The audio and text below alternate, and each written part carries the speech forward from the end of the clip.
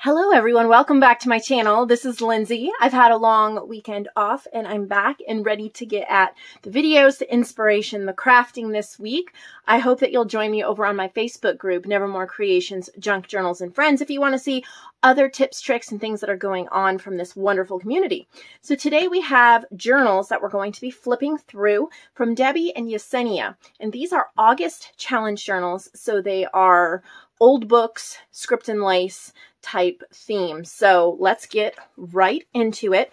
All of these are available for purchase um, in the Marketplace Journals section of a website. And I would suggest while you're shopping for journals that you take a look at the Marketplace Supplies section. There's a ton of little goodies in there that you can um, add to your order, and that will be that will be great for the artists as well as great for you to work on your stash. So this is the first one very vintage eclectic theme using a page here from my paper pack. This is um, on my desk. So this is from Debby. I love the vintage type fabric she found there. And this is called On His Desk. That's what uh, she's calling it. I'm trying to move some of these journals out of the way so I can get into here. All right, so she's used old books and then the on my desk ones, as well as my coffee stained tags and some other goodies as well. So, oh, I love that. Look at that old little, old looking little booklet. Very fun. a little belly band to keep it in there. So this looks very vintage and masculine. But I do see um, little bits that you could turn it feminine or masculine or any way you wanted to, really. I see flowers, ledger papers. So has old books paper pack and on my desk paper pack. Those are great vintage paper packs that go really well with vintage themes. Lots of different sized papers, different kinds of papers, little stationery page to write on. So I really just think this would be fun for kind of a household journal. Uh, you know, like things to do, things to clean, bills to pay, budget, or it could be just a great gift for uh, maybe that special guy in your life who enjoys taking notes or writing. This is one of the coffee ta uh, tags. My favorite smell is coffee, and she printed it smaller, so you can always print things different sizes, so that's fun. It really gives you a lot more to work with. So Debby sent that. And then this one, the Color Kittens. I think this is really bright and colorful a little cat and a create charm on the spine. It's a little golden book. I think this just wraps around. So you can really chunk it up if you want to. So this is also August Challenge. She's used on my desk, old books, excuse me, as well as some other ones. So Bright Soul, that's one of my ephemera packs. Strokes of Nature, that's one of my kits. And from the desk of Inked Stationery, that is one of mine as well. So just see how she used all that. Look at the tabs, little fabric tabs, the rick rack. This is cute. Perfect for um, an artist, maybe a young friend that likes to create. Got that cute story in there. She's put in like this is from Strokes of Nature. So is this one from the Desk of a Dreamer. This is that inked stationery. If you hear rustling in the background, it is my dog, so that's all it is. Got little cat stamps. So it's like books and art and colorful. Super fun. It could be a great place to swatch your washi tape and different mediums and um, paints and stamps just to kind of keep like maybe a record of what you have so you know maybe right where you're storing it so you can find it easily. Be a great art book. Um, Debby also sent this one, another August challenge. This is a folio journal. And she's used on my desk in old books. And it's more of a traveler's notebook themed, but still vintage. This is a great size to work in for sure. I think it comes with, oh, it's a fully, okay, so this flips. I'll figure this out. On the back, there's a pocket here with a piece of stationery. And then this flips over. This is from old books. This is from on my desk. And then there's ephemera. So you get some of the library cards. There's some Project Life cards. And then um, in here, there's just a bunch of pieces of ephemera in these two pockets, three pockets. There's a pocket, pocket, and pocket. So that's great for traveling, keeping everything together. You're noisy, puppy. It's chewing on a wrapper. Come on. Thank you. and then, um, let's see, Debby sent a fall journal. This is not a challenge journal. She just added it in. Isn't that beautiful? I love the pumpkins, the sunflowers, the Reader's Digest cover in the background. You have some dingles down here. Really pretty. Of course, he's going to find something else to chew on. All right, let's look inside. Oh, look at how pretty. It's called Fall Blessings. She's used some of my autumn digitals from last year, Awesome Autumn. I think those were ephemera, so let's see where she incorporated that. Yeah, like these here. Calendar pages. Yep. These are awesome autumn. I, hmm, I'm not sure if they're in the shop or not. I think they are. If they're not, they're a part of the Ultimate Lifetime collection. So if you have that or you want to purchase that, you can get those there. Here's another one. I love this little fall journal. So cute. Just perfect for maybe a November daily. Gorgeous choice of papers. Really pretty. So this is a fall one. And then she also sent a Halloween one, which is perfect timing if you want, are wanting to do an October daily or maybe just one that you can work in during the month of October. Um, she repurposed a book cover, The Grim Reapers. There's a dangle. It says The Story. And she used Poison and Lace, so that's one of my kits. Um, and then just other digitals. She doesn't remember where she got them from because she's had them for a long time. So Poison and Lace is my Halloween kit that I created last year, and you can get this. So this says, Oh, what a fright, oh, what a night. And there's a owl.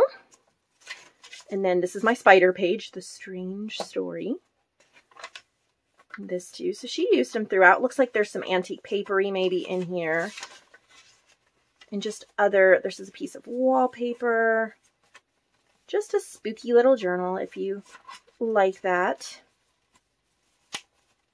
So my Poison and Lace kit is has spiders and scorpions and owls and just little arsenic labels and different things like that. Also in my new holiday image club that you can still get for $5.99. Um, that's a lifetime subscription and it's about to go up. So this was, I love this one, Bag of Bones. That's one of the ephemera pieces.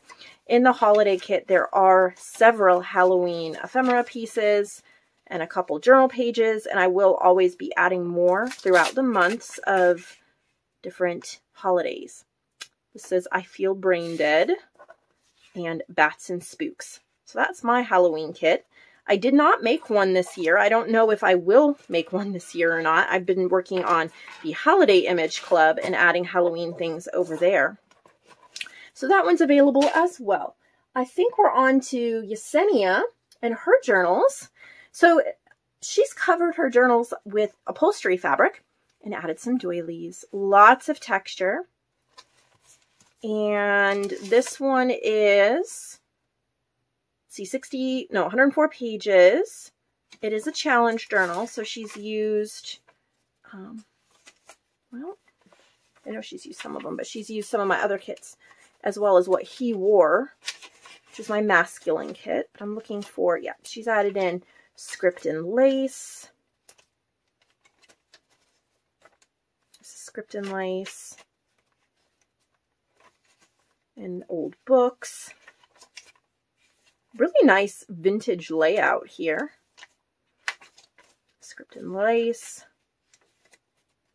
Cute little. This is a fun one. On my desk. What he wore. There's a what he wore and a what she wore kit in my shop in their vintage fashion. This is what he wore. So there's that one. And then this one, again, upholstery fabric, Tim Holtz paper dolls. Little doily. And then again, another challenge journal. She's also added in Armitage Flowers. It's a booster paper pack of vintage vintage postcards that I turned into journal pages. This is on my desk. On my desk. Lots to look at. Lots to look at. Old books, script and lace. Just a, a really fun junk journal. Like lots of just extra goodies. Really make it your own. Have fun with it. I like this fabric. It's really neat. What he wore. A lot of my kits go well together and I don't always think about pairing them.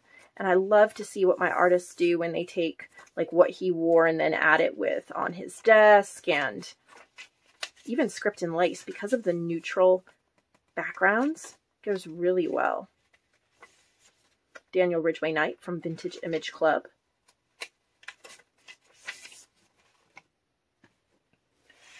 She sent this one. This one's just like cotton fabric covered. That's a beautiful flower there on the front. Armitage flowers. Coffee dyed papers. Script and lace. Script and lace. Armitage flowers. Script and lace. Cute little frame, Armitage flowers on my desk, script and lace. So you can see how they look in a journal. You can really mix and match old books.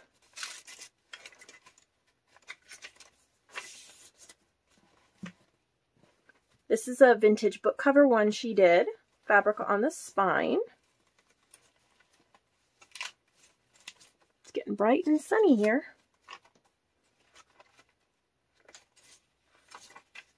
Lots of vintage pages.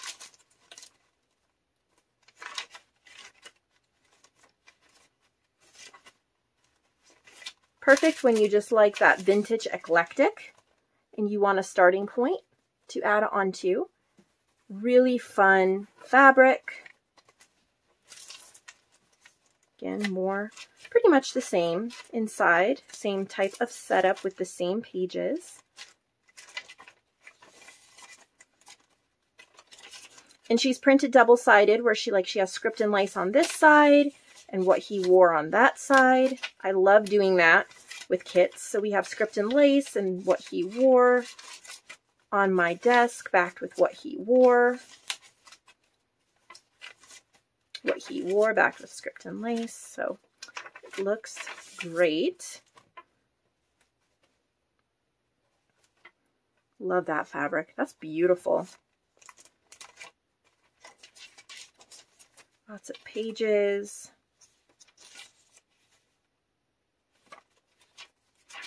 All different types of papers. I never thought about putting Armitage flowers with these kits, but it looks really good. Just that booster paper pack with the four pages. It goes really well. And then the last one she sent is this one right here. Super fun fabric. Lots of texture. So again, pretty much the same on the inside. Same setup, super cute. This one's a little more feminine.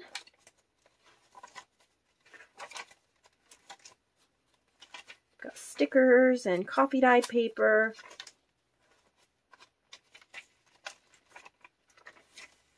So that is what we have today come back tomorrow. There'll be more. We're finishing up this week. We're finishing up the August challenge journals. Before you know, we'll be into September challenge journals, and that which are tea party themed. And then we will have October challenge journals, which are Christmas themed. So that is super exciting.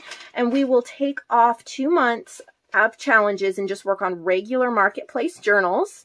and then we'll get right back into challenges for the new year. So I hope that you all enjoyed this video. Hope it gave you some inspiration and I hope you'll take a couple seconds to shop the shop and see if there's something you'd like for a gift or maybe just to treat yourself. I hope you'll give this video a thumbs up and I will see you all next time.